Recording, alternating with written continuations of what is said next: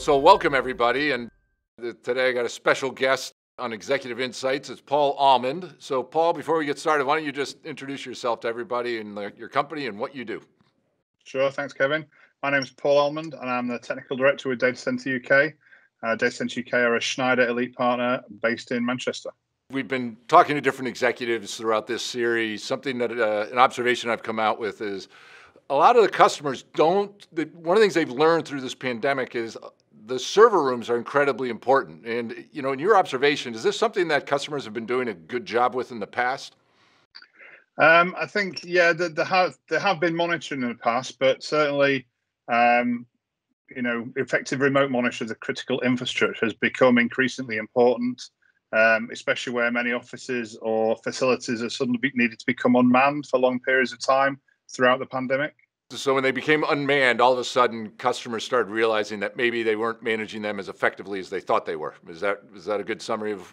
Yeah, that's right. People get used to being able to pop in and out of rooms or buildings, uh, and when that's not possible, then remote monitoring really comes into its own for them.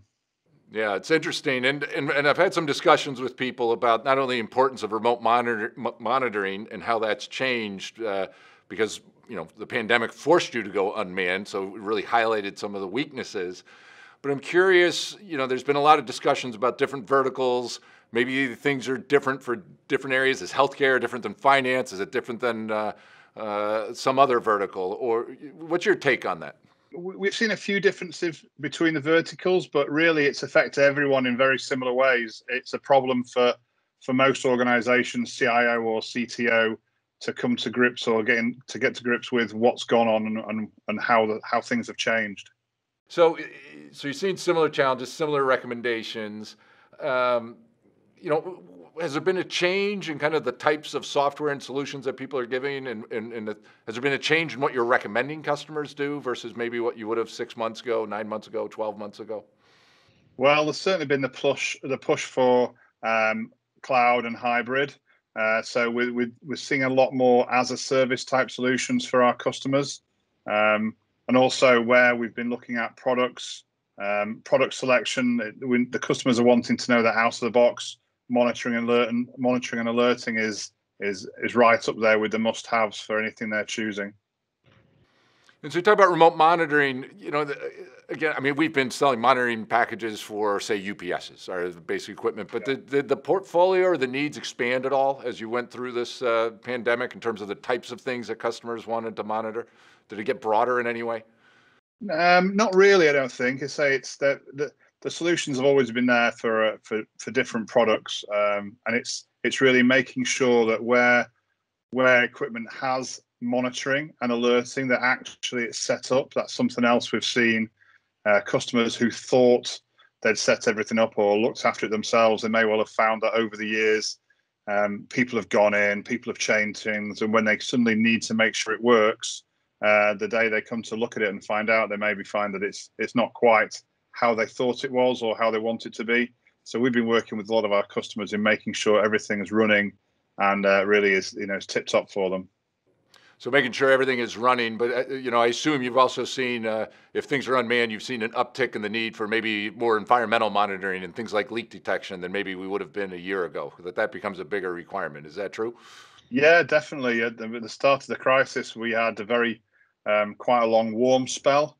So temperature monitoring was was taught to a few of our customers and cooling solutions, and then towards the end, um, we had sites affected by flash flooding.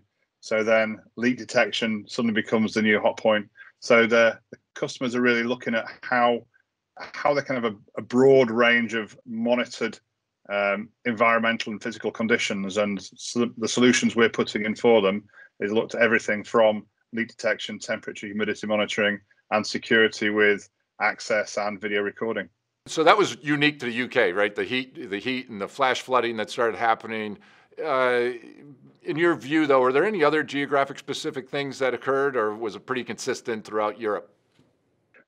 From what I've seen, it's quite consistent throughout Europe. A number of our customers have uh, global organizations with offices across the world, and we look after um, many of their solutions. So we were seeing similar uh, problems around the place, nothing specific to the UK or I think Europe, but um, many places had exactly the same problems. Yeah, just without the flooding and the heat wave, right? So, quite possibly. Right. So, and so we, we, as we've been talking with some other people, there's been this uh, theme that's come out in some of our conversations about the uh, relationship with the customers, and in some cases that got strained, in some cases it got better.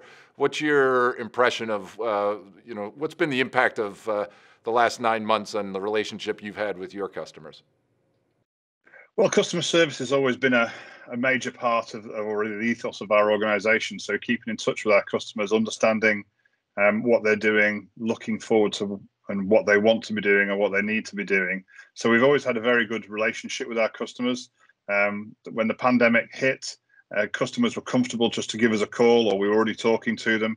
So really it was a case of, of business as usual in that respect, but certainly some of the requirements became more urgent. And so we were seeing a lot quicker turnaround on decisions for products where it might have been uh, months or weeks that was being done in days. So yeah, we always had a very good relationship with our customers, but making sure that we're available for them has been key to to getting everyone through this. Yeah, so this theme of compressed time of decisions that would take weeks took days and implementations and acceleration. And if I understand you correctly, yeah. some of this is maybe accelerating to the cloud in certain applications. Yes, that, definitely. Yeah. yeah, some of it's accelerated the cloud and, and cloud deployments have increased. But again, on the hybrid solutions, um, those are also have been um, very popular with our customers, and so using parts of the cloud, but also um, some of their own kit in their own hybrid data centers. So using both together has, has given customers um, a lot of the functionality to grow and move forward that they need to. So I'm going to dive into that for a second. It's interesting. You talk about you know the hybrid environment and what that might look like. Um, what are what are the applications or what are the things that you see your customers hanging on to on-prem, right, versus what they're moving to the cloud? Is there a consistent theme? Is it just something where they want to keep it on-prem because it makes them feel better, or is there actual a real business need there in, in your view?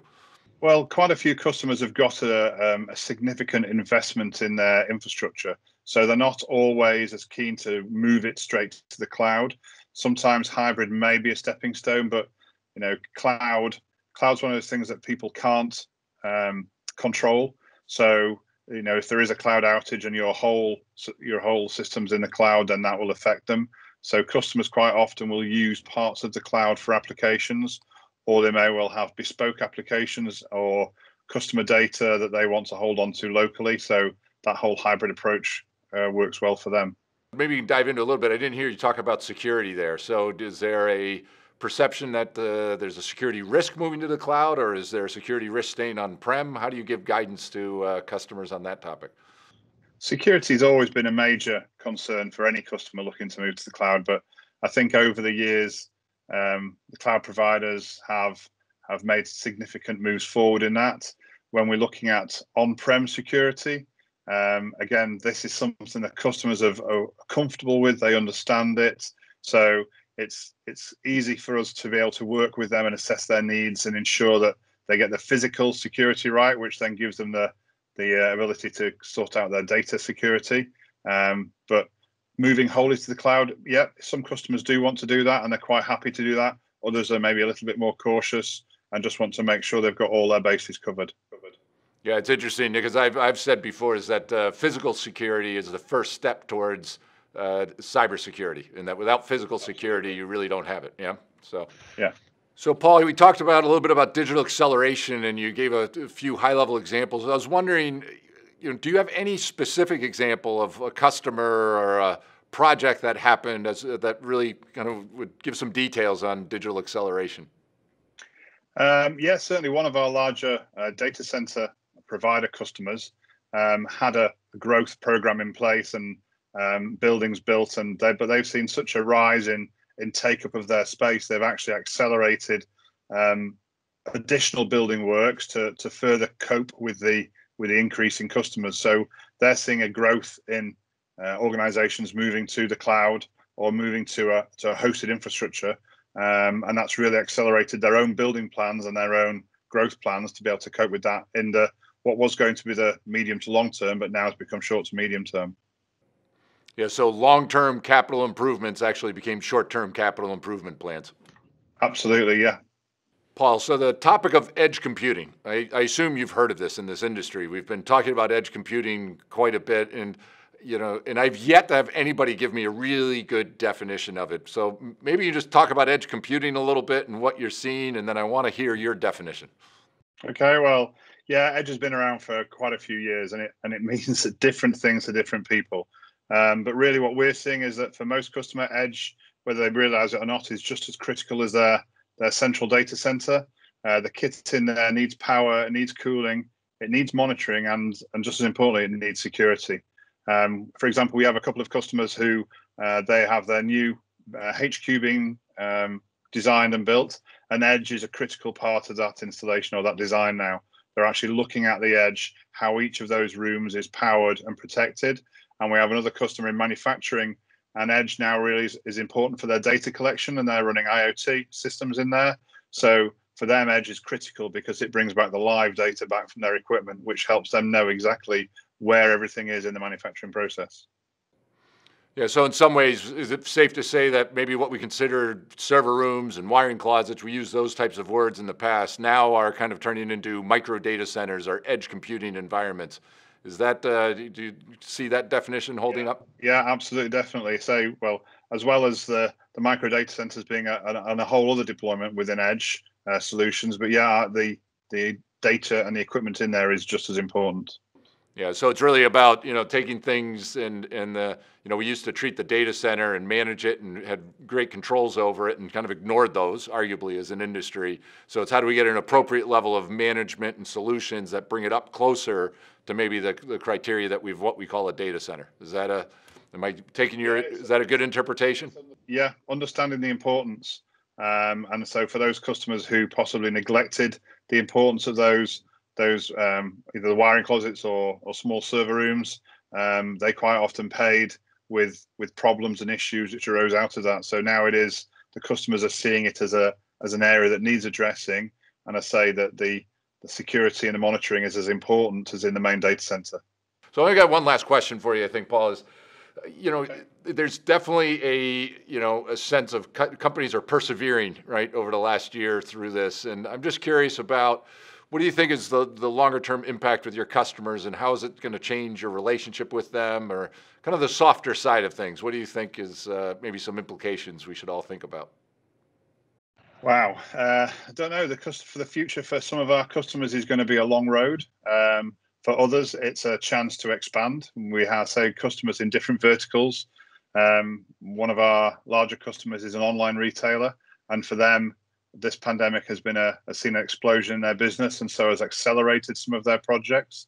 For other customers uh, in perhaps in the building side, some of these larger projects have been put on hold.